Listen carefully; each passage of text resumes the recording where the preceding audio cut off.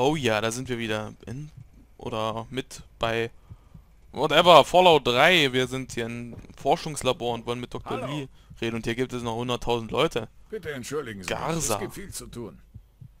Ähm, was machen Sie hier? Wirklich, Sie sehen ganz und gar nicht wie ein Wissenschaftler aus. Nein, nein, ich bin nur der Handlanger hier zum Tragen von schweren Geräten und so. Ich bin kein Wissenschaftler. So Ich Handlanger. helfe nur Dr. Lee bei allem, was ansteht. Hey, ich will noch mal mitreden. Bitte entschuldigen Sie mich. Okay, oder nicht? Ähm, du, Hey, Dr. Sie, Zimmer. äh, sind Sie ein Laborassistent oder sowas ähnliches? Nein, äh, dafür sehen Sie etwas zu ähm, äh, verlebt aus. Kann man Ihre Dienste zufällig ähm, in Anspruch nehmen? what? Kommt drauf an, worum geht's hier eigentlich? Direkt zum Kern der Sache, so gefällt's mir. Nun, wie es sich herausstellt, ist mir höchst privates Eigentum abhanden gekommen. Entwendetes Eigentum? Welches Eigentum? Hm, wie könnte ich das formulieren, damit Sie es verstehen? Für Sie ist ein Roboter nichts als ein Blecheimer. Sie kennen ja nur diese Mr. Handy-Zeugs und so fort. Nun, es gibt auch noch andere Roboter. Verstehen Sie, im Commonwealth stellten wir künstliche Menschen her, synthetische Humanoiden, programmiert, um zu denken, zu fühlen und zu gehorchen. Und, ähm, und da kann es passieren, dass sie die Dinge verdrehen und einfach ausreißen. Ach so, das hat mit dem, ähm, äh, Androiden zu tun. Ähm, hört sich nach Sklaverei an. Sicher, dass sie nicht absichtlich fortgehen? Interessant, aber was genau hat das mit mir zu tun? Genug mit dem technischen Gefaselzimmer. Sagen Sie mir, was ich machen soll. Ähm, Sie helfen mir, diesen Androiden zu finden. Oder etwa nicht? Bis hierher konnte ich seine Spur verfolgen. Er ist da draußen, irgendwo im Ödland der Hauptstadt. Er muss irgendetwas Drastisches getan haben. So etwas wie Gesichts-OP und eine Speicherlöschung. Sonst hätte ich ihn mittlerweile schon gefunden. Das wird nicht einfach. Vielleicht merkt er nicht mal, dass er ein Androide ist. Reden Sie nicht mit ihm, sondern holen Sie mich. Ich mach das schon. und dafür werde ich aber entlohnt, ja. Weiß ja nicht, wie es im Norden ist, aber hier werden wir fürs Arbeiten bezahlt. Sagen Sie, Zimmer, ist Ihre Brieftasche genauso groß wie Ihr Mundwerk? Ähm, Natürlich werden Sie entlohnt. Ich habe die fortschrittlichste Technologie des Commonwealths zu bieten. Ich möchte etwas davon mit Ihnen teilen. Denken Sie nur daran, wie neidisch all Ihre Freunde sein werden. ich habe keine Freunde. Klar, ich werde den Androiden schon finden. Fabelhaft! Finden Sie meinen Androiden und ich werde Sie nicht enttäuschen. Hier, hören Sie sich diese Nachricht an, die er mir geschickt hat. Er macht sich lustig über mich. Dafür wird er bezahlen. Also diese Androiden-Sidequest ist ziemlich umfangreich und natürlich kann man die halt wieder so abschließen, dass man ein gutes oder schlechtes Karma bekommt. Und ich glaube, den Androiden bei dem, also wenn man erstmal rausgefunden hat, wer es ist, äh, bei dem zu verpfeifen, ist die schlechte Entscheidung. Ähm, ja. Aber ich weiß gar nicht mehr so genau die Details von der ganzen Sache. Ich muss schon genau wissen, womit ich zu Was ist denn ein Androide? Also gibt es Vorschläge für die Suche nach dem Androiden? So ein Gesicht von. Ähm. Hey, ich muss jetzt gehen. Danke, ni- nicht jetzt, nicht jetzt. Du, oh Gott. Wenn Sie Dr. Zimmer auch nur ein Haar krümmen, breche ich Ihnen das Genick, als wäre es ein Streichholz. Bitte Streichholz. Guten Abend. Dr. Lee. What the fuck? Warum haben wir hier Karotten und Birnen? Ähm, hier war gerade noch so eine komische Anna. Wo sind die? Äh, da, mm, warten. Was darf's denn sein? Oh Gott. Äh, ist Dr. Ge- so schlau, wie man Sie sagt? steckt fast alle hier locker in die Tasche. Aber das heißt nicht viel. Was wissen Sie über Zimmer? Er stammt aus dem Norden und prahlt immer damit, wie großartig es dort oben doch sei. Die haben den Schuss nicht gehört. Die sind noch nicht mal imstande, auf ihre Roboter aufzupassen. Okay. Ich suche meinen Vater, haben Sie ihn gesehen? Hören Sie, einige von uns versuchen hier zu arbeiten. Es gab in letzter Zeit schon genug Unterbrechungen. Jeder, der hier durchkommt, muss an Dr. Lee vorbei. Warum gehen Sie nicht einfach ihr damit auf die Nerven? Ah, natürlich.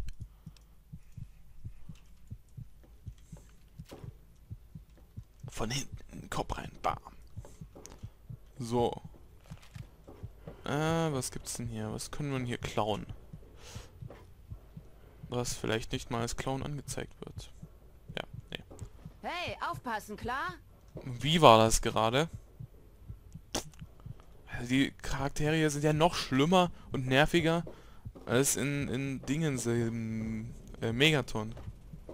Äh, Dr. Lee, ich hoffe irgendjemand Um ist, ist das. Obwohl, nee, da hinten sind noch mehr Leute. Tschüss, Dr. Lee. Du. Warum stehst du dort in der Ecke? Ich heiße Janice Kaplinski und ich bin die Chefbotanikerin. Was brauchen Sie? Ich suche meinen Vater, haben Sie ihn gesehen? Ich habe gesehen, wie ein Mann mit Dr. Lee gesprochen hat. Aber ich sollte nicht darüber reden. Ah, Sie okay. hat bereits schlechte Laune und ich möchte sie nicht noch mehr reizen. Oh Gott, da weiß Sie ich sollten schon. vielleicht einfach mit ihr darüber sprechen. Was wissen Sie über Zimmer? Was ich weiß, außer der Tatsache, dass er ein egoistischer, arroganter und überheblicher Dreckskerl ist? Nichts. Er stammt aus dem Commonwealth und sucht so einen speziellen Roboter. Ich muss zugeben, dass mich das interessiert. Aber ich habe zu tun. Auf Wiedersehen. No, okay, wir sollten einfach mit Dr. Lee reden. Alter, der schon wieder. So. Unterbrechen Sie sofort Ihre Arbeit. Ich habe etwas Wichtiges mit Ihnen zu besprechen. Gibt es das Wörtchen Nein im Commonwealth nicht? Es bedeutet Gott. keine Chance. Ihr vermisster Roboter ist jetzt nicht das Wichtigste. Der Zutritt zu diesem Bereich ist verboten. Ich bin es wirklich leid, das immer wieder sagen zu müssen. Sie... Sie sind das. Meine Güte, Sie sehen ihm so ähnlich. Nein, Sie nicht. sind der Sohn von James, nicht wahr? Was machen Sie hier? Moment, woher wissen Sie, wer ich bin? Kennen wir uns? Sie kennen meinen Vater? Haben Sie ihn gesehen? Wo ist mein Vater? Sagen Sie es mir. Jetzt! Ähm, äh, ja. Sie waren damals zu jung, um sich jetzt noch dran erinnern zu können. Und James hat wahrscheinlich nie von mir gesprochen. Typisch. Ich bin Dr. Madison Lee. Vor vielen Jahren habe ich mit ihren Eltern zusammengearbeitet. Jetzt betreibe ich hier in Rivet City das Forschungslabor. Das hier war meine einzige Option. Als ihre Mutter starb, ging Vater mit ihnen weg. Er ließ die Arbeit hinter sich. Wir konnten nur dasselbe tun. Ich versuche meinen Vater zu finden. Haben Sie ihn gesehen? Oh, Ja, das ist so langweilig. Können Sie mir mehr über meine Eltern erzählen? Ich würde gern mehr über Sie erfahren. Alter Schwede. Ja. Ähm, Heißt das, dass Sie sich noch nicht mit ihm getroffen haben? Ich hatte angenommen, dass er Sie hergeschickt hat. Sollten Sie nicht sowieso in einer Vault sein?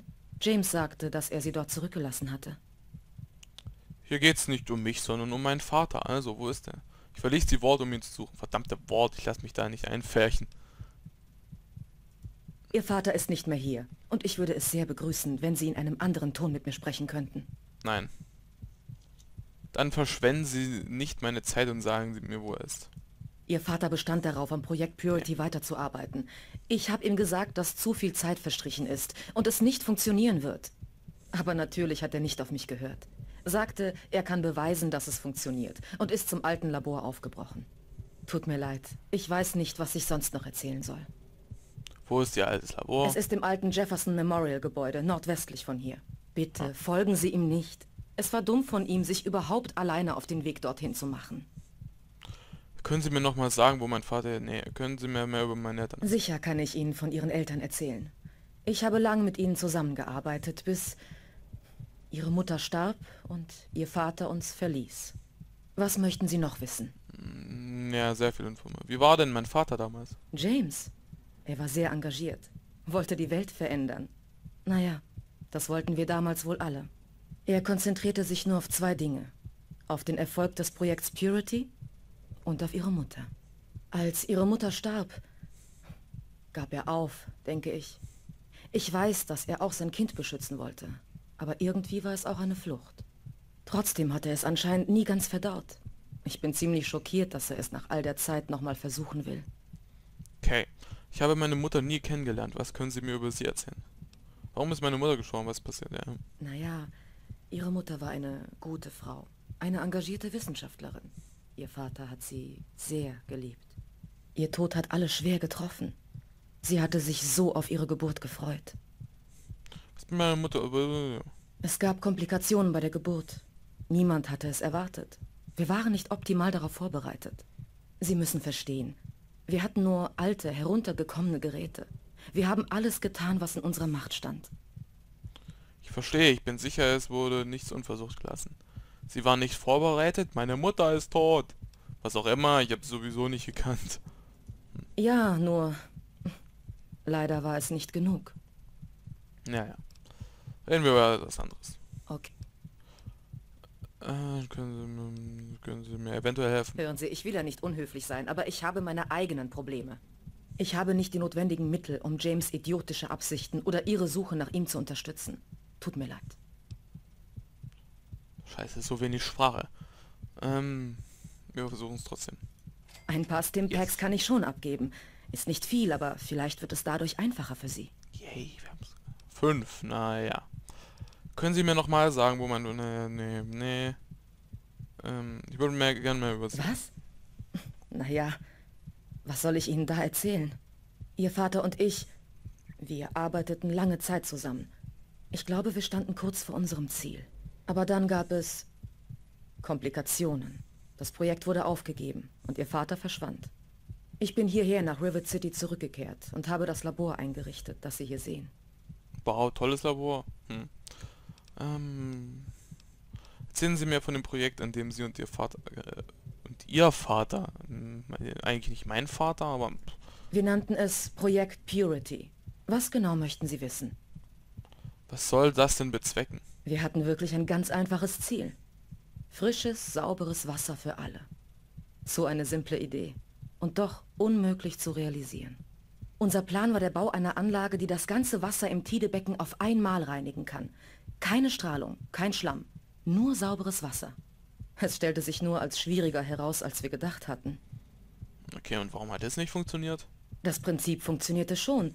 Wir verstanden den Großteil der zugrunde liegenden Technik. Leider ist in der Gegend wirklich alles verstrahlt. Mit kleineren Tests hatten wir bereits Erfolg. Aber sobald wir die Tests in größerem Umfang durchführten, funktionierte es nicht mehr. Vielleicht, wenn wir mehr Zeit oder eine bessere Ausrüstung gehabt hätten. Ähm, warum haben Sie Ihre Arbeit abgebrochen? Was ist passiert? Sie wurden geboren. Ja, danke. Aber es ging nicht nur um sie. Wir hatten sowieso schon zu viele Probleme. Und ihre Geburt brachte das Fass dann zum Überlaufen. Ihr Vater entschied, dass sie wichtiger als unsere Arbeit waren und ging.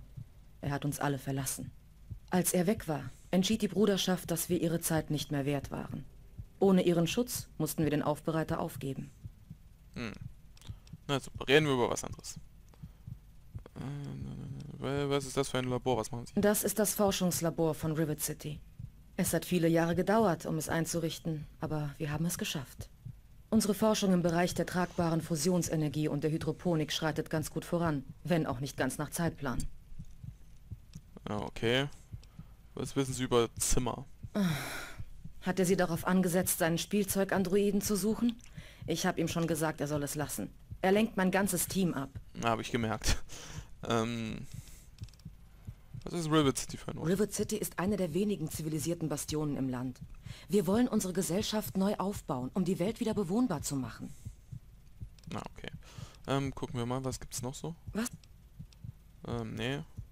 Und ganz normal? Ich weiß nur, Ja, okay. Ich- Okay, damit hätten wir jetzt Dr. Lee schon abgehandelt. Ähm, Ist nicht einfach nur ein Roboter. oh Gott, Alter, kann er mal den Maul halten. So, ähm, ja, wir müssen jetzt zum Jefferson Mo mal, Waren wir dort nicht schon mal? So, ja klar, ist doch, ähm, ähm, gehighlightet hier. Also, ähm, nicht ausgegraut. Das heißt, wir können eine Schnellreise dorthin machen. Ah, Aber ich glaube, das reicht schon wieder erstmal mit Hauptquest. Ah, ich guck mir mal an, wir haben einen Haufen eine Notiz, hier am Diagramm Rösti. Ja. Brian Spezialschlüssel. Hm. Ah ja, der Privatvertrag. Jungs und Mädels, wieder haben wir einen selbstgerechten, edlen Ritter, der außer Gefecht gesetzt werden muss. Ja, die Einzelheiten. Name Tobi, Ethnie weiß, Geschlecht männlich. Es sind 10.000 Kronkorken an, äh, angesetzt und noch was. Dieses Mal wollen sie den Kopf. Weidmanns Heil! Natürlich. Mai Wong. Mai Wong hat Angst vor einem Mann namens Sister in Rivet City. Sie hält ihn für einen Sklavenhändler. Bannon, Bannon hat mich gebeten, den Raum von Seagrave Holmes äh, auf Belastungsmaterial zu durchsuchen. Damit könnte Bannon... Okay, Angela und Diego. Angela Stay... Ähm, Ameisenpheromon, ob das so eine gute Idee ist. Vermisster Androide. Zimmer, der sich derzeit in Rivet City aufhält, ist auf der Suche nach einem Androiden. Er glaubt, der Androide könnte sein Gesicht rekonstruieren und seine... Ja, das bist du eigentlich. Selbstbestimmung ist keine Fehlfunktion, okay. Haben wir nicht sowas irgendwie schon? Ja, hier, vertrauenswürdiger Chirurg. Hm. Hilfgesuch. Hilfegesuch. Haufenkrügen. Wenn Sie diese Aufnahme hören, Oder was auch immer, ändert nichts daran, dass ich sehr beschäftigt bin. Ich hoffe sehr, dass Könnten das Sie es bitte so sein ist, lassen und mich arbeiten Aufnahme lassen? wird uns beide Ich kam auf dieses lecke Boot in der Ich bin Absicht, Sie um Hilfe zu bitten. Ich Ich hatte gehofft, die Leute vom Projekt. Purity Ja, würden mir mehr entgegenkommen. Verfolger kennen keine Gnade und werden vor nichts Halt machen, um ihren Besitz. Ich brauche einen Arzt im um mich einer Gesichtsrekonstruktion zu unterziehen. Und ich brauche jemanden mit speziellen Computerkenntnissen. Ich muss... Ich muss mein Gedächtnis löschen und mein Gesicht verändern, um ein anderes Aussehen anzunehmen. Jupp, ähm, ich spiele das jetzt einfach mal vor, um zu, um zu zeigen, wie weit er nur, ist. weil ich glaube, dass wir ihnen vertrauen können. Haben Sie von den synthetischen Menschen gehört, die Sie im Commonwealth oben im Norden machen? Nun, die Gerüchte sind wahr. Sie nennen sie Androiden. Das sind Menschen wie wir. Nur bestehen sie eben aus mechanischen Körperteilen. Ich kenne so einen Androiden. Er sucht einen vertrauenswürdigen Arzt für eine Gesichts-OP. Sind Sie dazu in der Lage? Oder haben Sie eine Adresse? Kennen Sie außerdem einen hervorragenden Computerspezialisten? Ja, das Zeug haben wir ähm, bei Hallo. dem Arzt von Megaton äh, gefunden. Was ich bis jetzt irgendwie komisch finde, ist, dass ähm, bis jetzt noch keinen ähm, äh, richtigen Arzt hier gefunden haben. Wir haben zwar Dr. Lee, aber niemand, der uns irgendwie heilen könnte oder so. Vielleicht ist das auch dieser dieser andere Doktor, m, den von dessen, dessen Raum wir gefunden haben. Ähm, Moriarty. Warte, ähm, das andere. Hier.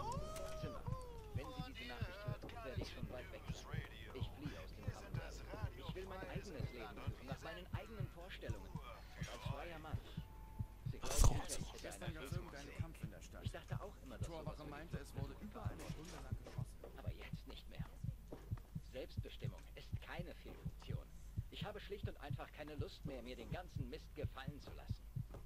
Ihr Menschen werdet bald einen ordentlichen Aufstand heraufbeschwören, wenn ihr nicht anfangt, uns Süns wie richtige Menschen zu behandeln.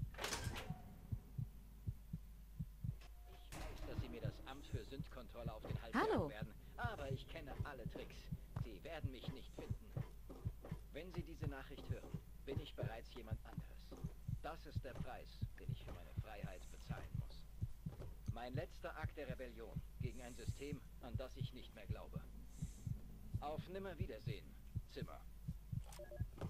Okay, das wird noch interessant werden. Aber wie Ich gesagt, das machen wir später. Hallo. Ja? Also auf einmal können wir mit der reden.